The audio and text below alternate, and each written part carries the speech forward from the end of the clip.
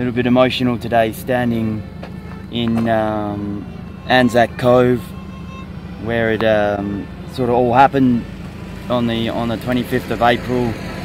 And this is this is it. This is the it's officially named Anzac Cove. It's been an emotional morning. We've been exploring and paying our respects to um, all the Aussies New Zealanders and everybody else fallen. And um, yeah it's it's uh, definitely very humbling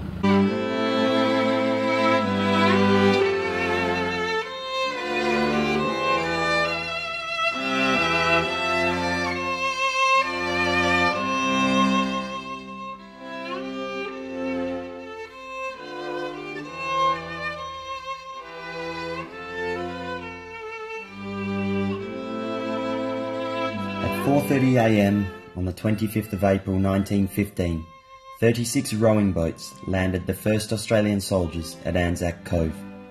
By 10am a front line was secured. 160 Turkish soldiers opposed the initial landing and by day's end, assisted by 8,000 reinforcement, they contained the 16,000 Australian and New Zealand soldiers landed.